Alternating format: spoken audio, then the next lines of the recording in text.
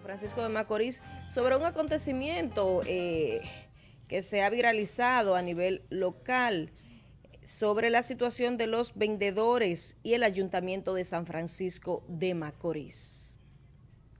El alcalde de San Francisco critica a vendedores ambulantes, asegura estos atentan contra la economía local. Un video circula en las redes sociales en el cual el alcalde de este municipio, Alex Díaz, critica duramente a los vendedores ambulantes que operan en una de las calles de la ciudad. En el video, el funcionario afirma que dos ciudadanos venden artículos y se llevan el dinero del pueblo en detrimento de los comercios locales. El alcalde expresó su preocupación por el impacto negativo de estos negocios informales que podrían tener en la economía de San Francisco de Macorís. Según Díaz, por los que optan por comprar a los vendedores ambulantes en lugar de apoyar a los comercios establecidos, lo que podría resultar en despidos y afectar aún más la economía local. La reacción de la comunidad ha sido mixta, con algunos ciudadanos apoyando la postura del alcalde y otros defendiendo a los vendedores ambulantes argumentando que representan una alternativa económica para los consumidores. A propósito eh, de esta situación, de estas declaraciones, tenemos la pregunta eh, del día. Es importante escuchar que ustedes opinan al respecto, eh, qué piensan sobre esta situación y posición del alcalde de San Francisco de Macorís. En pantalla ponemos la pregunta, muchachos. ¿Está usted de acuerdo con las críticas del alcalde Alex Díaz sobre que los vendedores ambulantes afectan negativamente a los comercios locales en San Francisco? ¿Qué opina la gente sobre esta posición del señor Alex Díaz? Fulvio. Bueno, eh, hay libre comercio, esa es la tendencia del mundo la libertad de comprar lo que tú quieras, donde tú quieras, pero todo tiene que tener un orden. Si ellos están organizados, si ellos están bien establecidos, si ellos tienen espacios, la mayoría de las ciudades le disponen de espacios a los vendedores ambulantes, disponen de tiempo también, de momento, hay horas establecidas, hay un sinnúmero de cosas, porque también ellos tienen derecho a vender. ¿Y quién le puede coartar la libertad a, vender, a, andar en una calle? Eso está eh, medio complicado. Lo que hay es organizarlo, que no estén eh, tirando desperdicios donde quiera, que no estén alterando el orden, que no estén sirviendo de obstáculos al transeúnte, que no estén en, conflictos también, provocando conflictos entre uno y otros, pero eh, eh, la libertad de la oferta eh, es lo que establece el mercado actual, libertad de oferta, libertad de demanda, para que cada quien pueda obtener sus su productos que desee. Siempre que la persona no esté afectando a todos los reglamentos de las ciudades, a los mismos eh, inquilinos, a los mismos ediles. Esto, pues, ellos compran en algún lugar, pagan impuestos al comprar y llevan estas ofertas de casa a casa eh, hay lugares que se le pueden disponer, hay soluciones que se pueden hacer.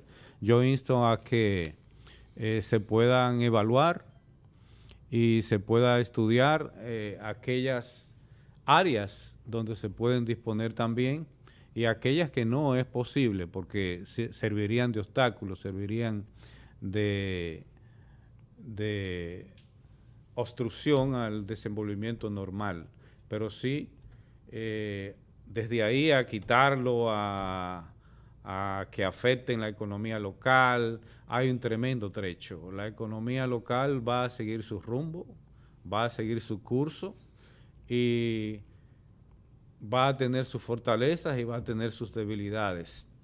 Es parte también de la economía local, muchos de ellos son de aquí o son de la provincia, otros de aquí se van a otras provincias y andan trabajando, están en un esfuerzo de generar ingresos para ellos, para su familia y el espacio es de todos los ciudadanos. Ahora tenemos que eh, ir orientando una ciudad para los ciudadanos, en un confort, en un respeto y también en el fortalecimiento de las economías, que ellos también son parte de ellos. Muy bien, Yerjan. Bueno, es un tema medio hasta como extraño por el tema de cuál es la importancia que reviste una persona vendiendo un vehículo. O sea, cuál es la afectación, es la pregunta. Si nos vamos a poner en esa, entonces tendríamos que, imagínense ustedes, voy a, tratar aquí de buscar una, una imagen que sí es importante. Usen que me, distraje un poco. Pero yo creo que el alcalde, quisiera que me coloquen por favor las imágenes del el video que estaban pasando. Yo creo que hay cosas más importantes en las cuales un alcalde debe enfocar sus energías, su atención. ¿Ustedes recuerdan la película Perico Ripiao? ¿Recuerdan de Margarita? Margarita, ¿qué se llama la Margarita? es parte hasta de, la, cultura dominicana que aparezcan este tipo de vehículos. Ojo, la ley, pero no tiene que ver con el ayuntamiento, la ley de la 63, 163-17, la de tránsito, prohíbe que a un vehículo se le hagan modificaciones. Entonces, un vehículo así, con tantas cargas, con tantas cosas que sobresalen de lo que es la capacidad del vehículo, pónganlo el video, muchachos, estoy hablando de eso debería ser parado inmediatamente por la DGCET y multado. Mire, usted no puede llevar esa cuestión ahí delante por tales y tales razones, porque la ley lo prohíbe. Pero no solamente a ellos, tendríamos que ir también donde el grupo de gente y de ricos que han modificado sus vehículos y que le han puesto luces poderosísimas. ¿A usted no le ha pasado eso? Que se topan con, estos tigres que andan en la calle con unas luces rarísimas y te dejan ciego. Así es. la ley lo prohíbe. La ley prohíbe hacer cualquier tipo de modificación a los vehículos en la República Dominicana. Incluso la defensa que le ponen delante, ese hierro que le ponen, es prohibido por la ley. Dice la ley. Entonces, yo creo que el alcalde, más que enfocar sus energías en este tipo de acción, estar discutiendo él directamente con la gente, debería estar eh, focalizado en cosas más importantes cómo es revisar cómo están las calzadas del pueblo, cómo están las calles del pueblo. Aquí están toda la calle llena de hoyo. Eh, pudiera trabajar en esa parte de un, proceso de, bacheo. Debería estar trabajando en otras cosas que sean más primordiales. Ojo, cada quien tiene su, forma de trabajo, ¿verdad? Uno la, uno la respeta. Pero, miren, yo le voy a mandar esta fotografía para enseñarle al alcalde. Esto sí es importante, señor alcalde. Mire, eh, le acabo de enviar esta foto al, WhatsApp para que vean porque esto es una afectación a los derechos de los ciudadanos. Eh, es un lugar aquí en San Francisco, eh, muy cerca de Telenor, por cierto, muy céntrico y donde los vehículos, mire, no sé de quién es el vehículo, no sé de quién es el negocio, no me interesa hacerle daño, pero hay una afectación ahí al espacio público, ¿lo ven? Pero no es un Sonata que está parqueado ahí. Atención, Francis, tú que criticas tanto a los Sonatas, no es el mío que está ahí. Tremendo jipetón, ¿eh? No me interesa, no sé de quién es, el ánimo no es hacerle daño, pero hay una afectación al derecho público y es que está ocupando la acera. Eso sí es importante. Es ir, decirle señor, mire señor, tampoco es ir, mire, por un asunto de costumbre, mire señor, eh, la jipeta suya está eh, ocupando espacio público, por favor retírela. Y si la voy a colocar, entonces le estaremos remolcando el vehículo, porque la ley lo permite. Permite montar ese vehículo en una grúa y llevárselo. Y la multa. Entonces yo creo que las energías tienen que ir focalizadas a cosas que realmente importen a la generalidad. A mí no me parece que esta gente en este camioncito le estén haciendo daño a nadie. No, no, no. De hecho, le facilita la, vida a alguna gente que no quiere salir a un supermercado.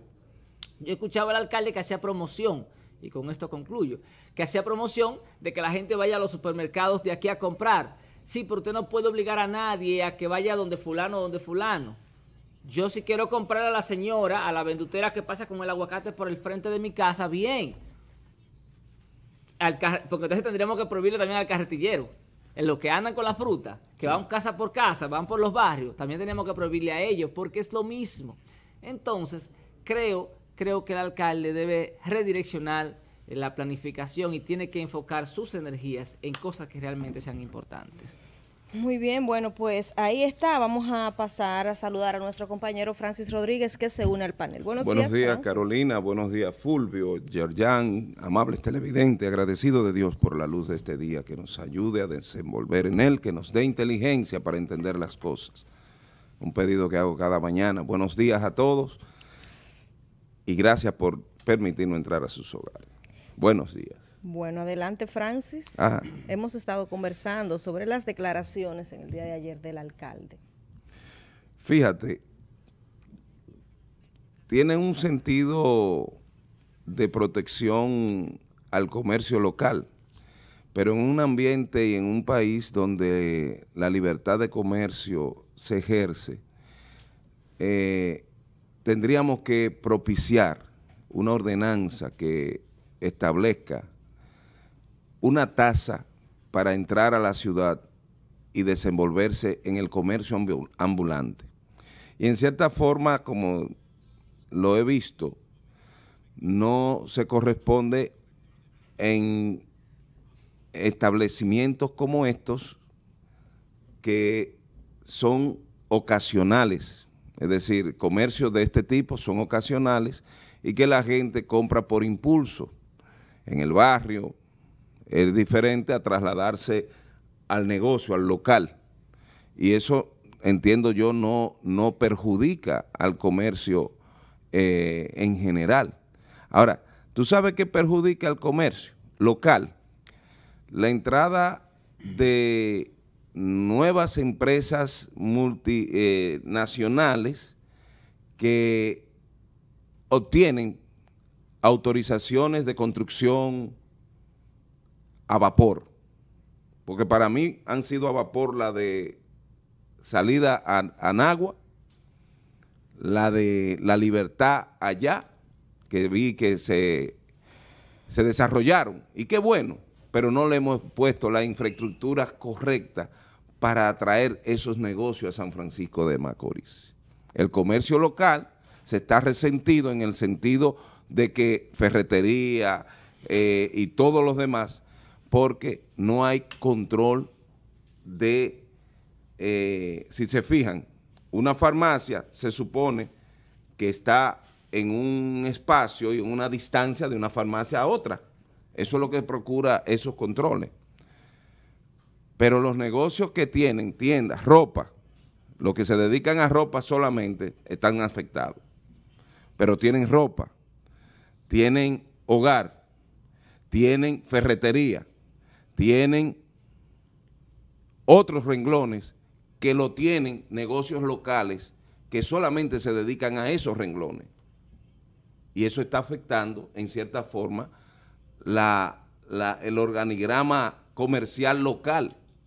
Pero ¿cómo podemos controlar eso cuando tenemos libre comercio, tratados internacionales que aperturan y que estamos procurando para en la economía que haya inversión extranjera? Entonces tú te preguntas, ¿cómo resolver el tema de competencia local? Francis, la mayoría de ellos compran en esos mismos negocios para revender. Sí, es verdad. Eso no... Es decir, que lamentablemente no tenemos las condiciones para limitar a un comerciante ambulante, a un ranchero, como se le llama. Así es, ranchero. Así, ranchero, sí. Eso es venta ranchera. Porque ese va de rancho en rancho. Sí, ese es verdad. Ese va a, a las comunidades y mientras va visitando un barrio, todos tienen el negocio en el frente. Y a veces como que solo fían a la gente. También Sí. tienen Y, y ruta. pasan cada cierto tiempo a cobrar. tienen ruta que en cierta forma facilita la vida del hogar cuando no tienen con qué, pero necesitan la, la batea. Sí.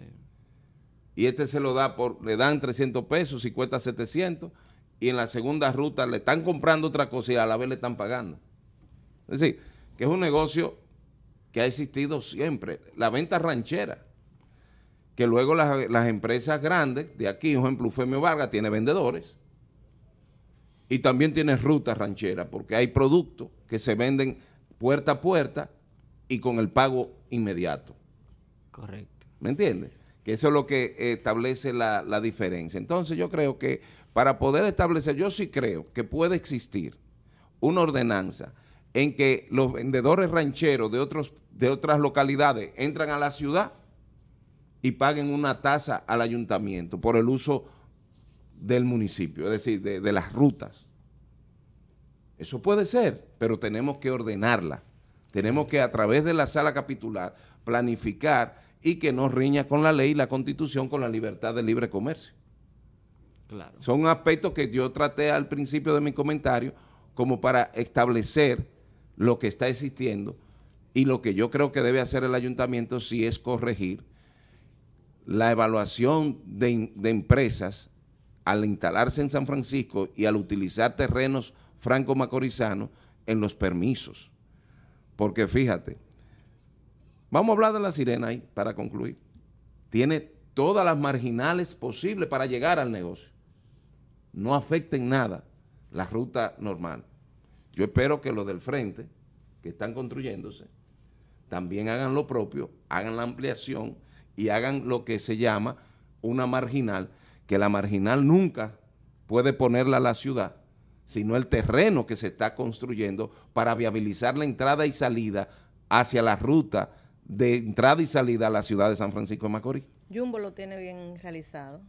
En parte, pero es muy, muy, muy... Sí, es, es tedioso entrar. es es- en Pues parte. es un poquito tedioso entrar. Es lo No, mismo no, que no, yo digo. Cuando tú vienes desde Controva hacia San Francisco, Tiene que- restringe mucho Restringe. el espacio de tránsito.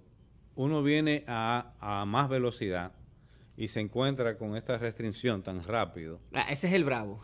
Eh, Eh, sí. Que hay un cambio Ese ahí. ahí, no, eso es eh, una Que locura. cambia No, de, de, mira una de- cosa. de dos carriles Lo a uno. correcto. Como Yo la que tú no encuentras qué hacer. Por No, cuando, Parte- perdón, Francis, cuando tú vienes a caer, tú caes en la otra vía sin darte o cuenta. sea, tú- porque Mira. tú vienes, entonces tú caes eh, en Sí. el carril contrario. Entonces, Mira una Como cosa. que no está bien organizado esa parte. Ahí en, la- en el Bravo yo he dicho, hay que cerrar esa puerta y dejar que sea la puerta principal que es por la urbanización. Porque ahí sí da lo que Fulvio ha, estable- ha establecido. Se da una marginal céntrica izquierda que te puede permitir una fila, creo que hasta de 10 carros, hasta la urbanización Terranova State. Los vehículos que vienen de frente pasan por el lado y los que van a salir le pasan por el lado y tú quedas en el centro. Pero ahora, con el tema de la entrada ahí, que dice ser que es que tienen la entrada de, pro- de- de camiones y salida, se abre exclusivamente para el momento que vaya a entrar un camión o vaya a salir un camión. Pero yo sugiero y he dicho que esa puerta debe de cerrarse porque esa es la parte más angosta, la que hace el embudo Sí. Mire, muchachos. y es pertinente que el Bravo, en una visita que le hiciéramos con los delega- con los representantes de DGC, el alcalde de entonces, Siquio NG de la Rosa, una, y quien les habla, y tratamos el tema, quedaron de dar una respuesta. No sé, yo espero que Alex lo retome. Miren, eh, en el día de ayer, cuando se su- subió el video, vi en diferentes plataformas locales hablando del mismo, eh, porque le sorprendió a mucha gente esta posición, donde se supone que no es algo para nada ilegal, está la libertad de cada quien desplazarse donde entienda a hacer comercio. Si ustedes recuerdan, en la pasada gestión de Alex, esto fue uno de los temas que desde su visión trabajó. Despabilar, vamos a decir, o ahuyentar o hacer que estos vendedores de otras zonas, los que vendían a vender los vegetales, los mangos, los plátanos, que se apostaban en diferentes esquinas de la ciudad a un precio mucho menor, por ejemplo, de Cotuí, eh, donde se produce mucha piña, que la gente viniera en Cebicos, por decir algo, por poner un ejemplo, a vender piñas a 20 pesos, cuando en el mercado te la venden a 60, no es verdad que nadie le va a comprar al del mercado. Y eso él lo, trabajó en, la gestión pasada. Hay estas en la calle... Ah, para que definitivamente la saquen. Eh, en la calle que me parece que es la principal, Fulvio, esa es la principal, ella ya la de Vista el Valle, donde se apostan unos muchachos a vender vegetales. No lo he visto, francamente. Eh, como el que va para el cementerio, eh, empezando en la calle principal. Entonces aquí eh, se entiende que esas personas también son de fuera y que afectan, por ejemplo, al, del colmado, que si te lo tienen el, paquete de cilantro o de un aguacate a 40 pesos, nadie le vaya a dar 60 al colmado. Entonces, me imagino que por ese lado se está teniendo el apoyo de los comerciantes o pequeños comerciantes que dirán, bueno, el alcalde nos está defendiendo está haciendo que la gente no compre a nosotros y nos jalo de, otro pueblo. Eso es un punto de vista posiblemente privado, comercial, de esos ciudadanos que tienen su negocio y entienden que se estarían beneficiando por estas medidas del alcalde. Pero eso es de manera particular. Ahora, cuando vamos a lo que manda, a lo que ordena eh, o a lo que debe de ser, definitivamente es algo que está incorrecto. No sé si me entiende, o sea, equilibrio. El apoyo definitivamente lo debe de tener de los comerciantes de que eh, están protegiendo sus negocios, que no le lleven el dinerito para otro lado, por decir algo.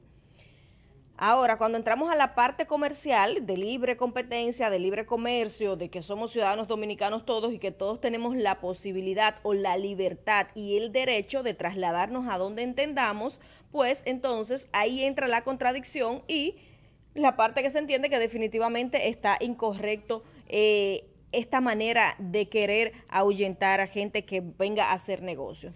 Uno de los aspectos que podemos nosotros acá plantear, creo que Fulvio hablaba de esto, es de ordenar, o sea, de que esto no se haga, que en todas las esquinas, y uno de los temas del alcalde ha sido este, la limpieza y la contaminación visual o, o el ordenamiento de la ciudad. Tener guaguitas ambulantes en todas las esquinas. Ustedes recuerdan también las guaguitas de frutas que se ponían en muchas esquinas de San Francisco de Macorís. Esas se fueron todas en la, en la gestión del alcalde. Ahora hay como una, me parece, en la calle Rivas que volvió luego de terminar esa gestión. Entonces, ¿qué podemos nosotros concluir con esto? Lamentablemente, eh, podrá haber muy buenas intenciones en defensa de los ciudadanos o del comercio local, del alcalde, pero definitivamente no es correcto. Eh, podrá tener el apoyo de esos pequeños comerciantes que entienden o entenderían que le están protegiendo sus pequeñas inversiones locales, pero de manera oficial o desde autoridades o instituciones, querer prohibir a ciudadanos dominicanos eh, que no estén alterando el orden, que no estén haciendo cosas ilegales, eh, definitivamente no es posible. Que podamos tener una visión como ciudadano, eh, hasta como funcionario, ahora de ahí aplicarlo a algo que no es correcto, que no está bien porque no se está haciendo nada que vaya en contra de, de, la ley o quererlo sacar de la ciudad definitivamente no sería posible, no es posible. Y si se intenta hacer, pues eh, no estaría bien. Yo diría que lo más que se puede lograr en una ciudad que quiera organizar es hacer una ordenanza en la que los vendedores de ruta o de rancheros paguen al entrar a San Francisco y tengan todo un día de labores aquí. Pero perdón, ¿eso se puede hacer de manera particular por ciudad? Claro. Desde el ayuntamiento. Claro que sí. Porque es un control territorial y, simplemente es una tasa. Pues entonces es el enfoque o la manera que ese debe ser el enfoque, entiendo yo. Claro. Ese debe ser el enfoque y ahí no afecta y el ayuntamiento tiene toda la potestad para organizar en su territorio la entrada y salida de su a, su ciudad. ¿Y pero por qué hacerlo entonces de manera particular, Bueno, como eh, el- funcionario fue o individuo. dices, el enfoque eh, tiene una intención de regulación, pero no está establecido. Y la forma de establecerla, primero, no se puede limitar. Lo más que puede pagar es un- una tasa mínima para usar la ciudad como comercio. Entrar y salir. Me refiero a los... Porque fíjate una cosa, lo que se da con, los, con las frutas que vienen de Constanza, las plazas, ellos pagan un- una, una tasa al ayuntamiento para venir a, a vender al mercado. Entonces, pero ¿por qué no se hace así? No, no hay asesoría, Francis, eh, en el ayuntamiento. Claro que sí, el alcalde es un hombre que tiene estudio en administrativo y, y- y de municipalidad. Pues ahí es que radicó el problema y el escándalo que se suscitó a nivel local o, o el, o, o lo, lo de que se sorprendiera mucha gente al él asumir esta posición.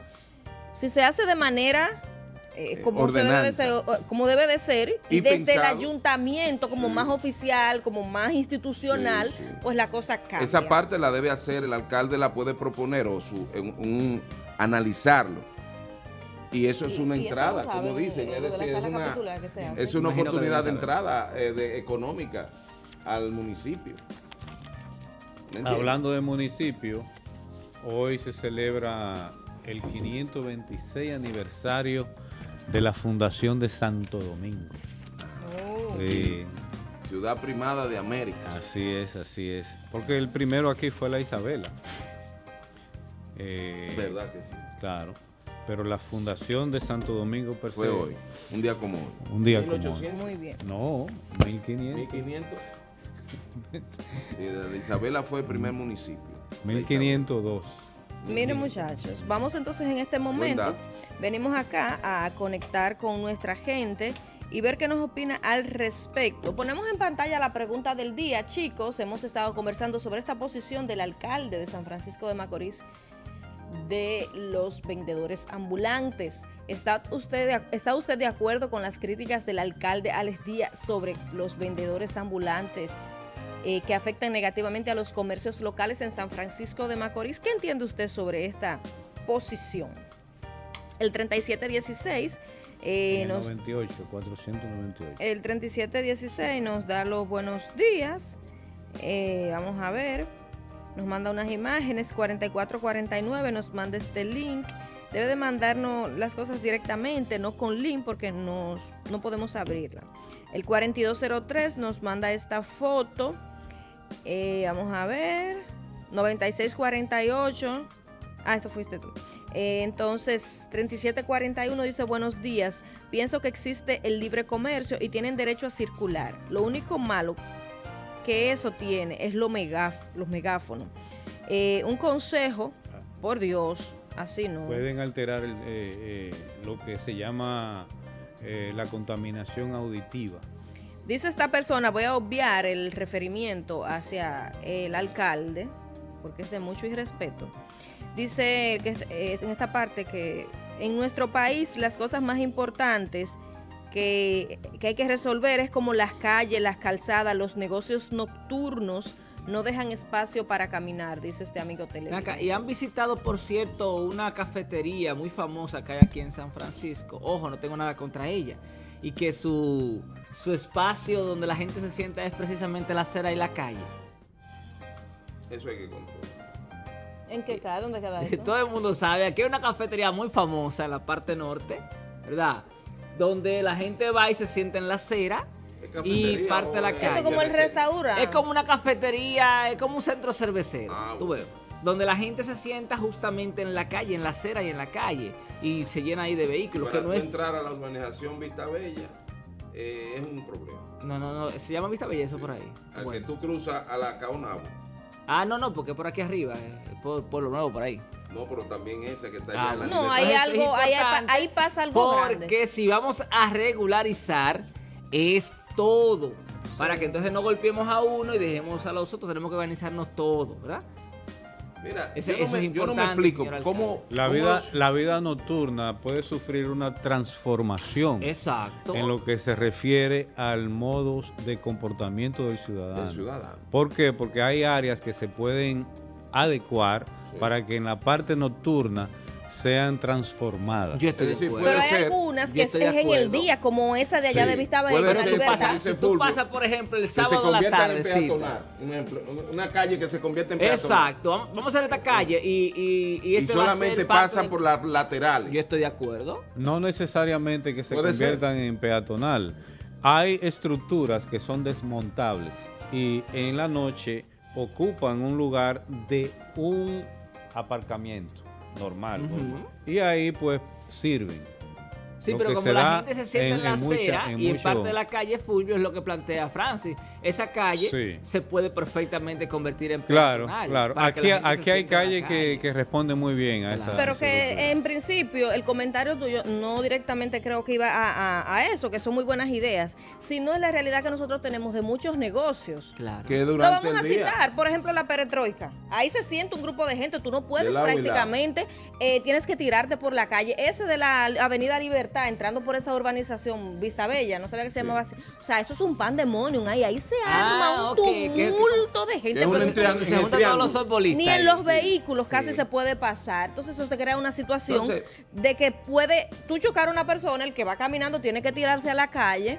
Recuérdense cómo conducen también muchos. Sí. Es peligroso. Es peligroso.